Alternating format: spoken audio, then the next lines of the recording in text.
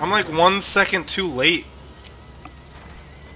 I literally just like ran, uh, like jumped this guy.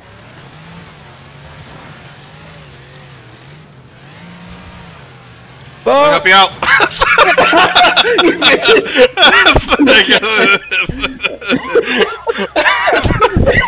that was perfect. I was so close to saving it, dude.